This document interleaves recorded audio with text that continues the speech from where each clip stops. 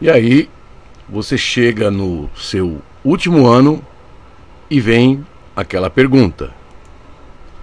Você já definiu o tema do seu TCC?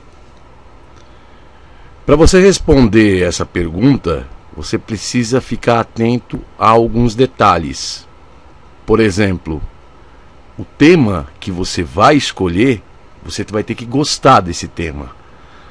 Então, se você não gostar desse tema, mas gostar mesmo do tema, o seu TCC vai ser bem difícil para poder trabalhar.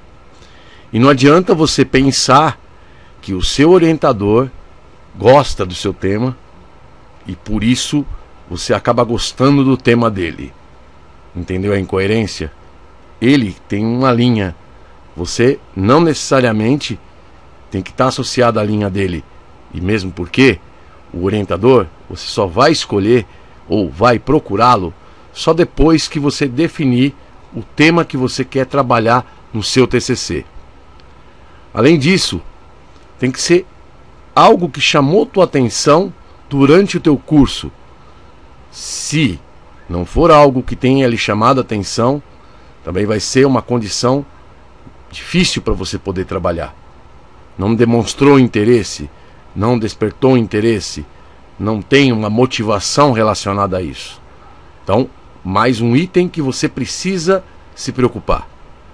E o outro item é, de preferência, ele esteja relacionado ao seu trabalho. Tudo vai ficar mais fácil ou vai ficar de uma maneira em que você consiga fazer uma aplicação, né? desde que também esteja relacionado ao seu trabalho. Mas não é só isso. Você precisa verificar se esse tema que você está buscando, se ele tem conteúdo disponível para você poder trabalhar. E você só vai saber isso quando você fizer uma pesquisa no Google Acadêmico.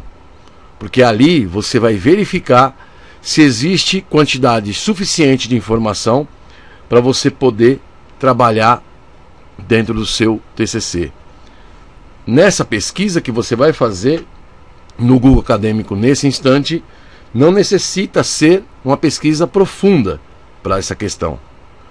No outro vídeo, eu vou mostrar como você faz essa pesquisa no Google Acadêmico, para poder observar se existe conteúdo suficiente de forma a pôr algumas coisas ali direcionadas ao seu trabalho de conclusão de curso.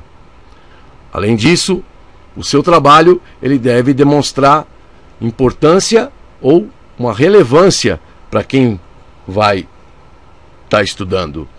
Porque se não for importante ou relevante para alguma outra pessoa a não ser você, vai ser um tempo que você vai desperdiçar. É melhor você já buscar algo que, que tenha ali uma devida importância, que já tenha ali uma relevância no que você está buscando. Então, para você poder resumir e já colocar ali nas suas pastinhas o tema, ele vai precisar ser dividido em você gostar do que você vai fazer, ter conteúdo disponível para isso e ele ser importante e relevante para a sociedade ou para alguma outra pessoa que julgar desta forma. Tá legal? Próximo vídeo eu explico como fazer uma pesquisa no Google Acadêmico para verificar se o conteúdo é suficiente para o seu trabalho. Até o próximo vídeo.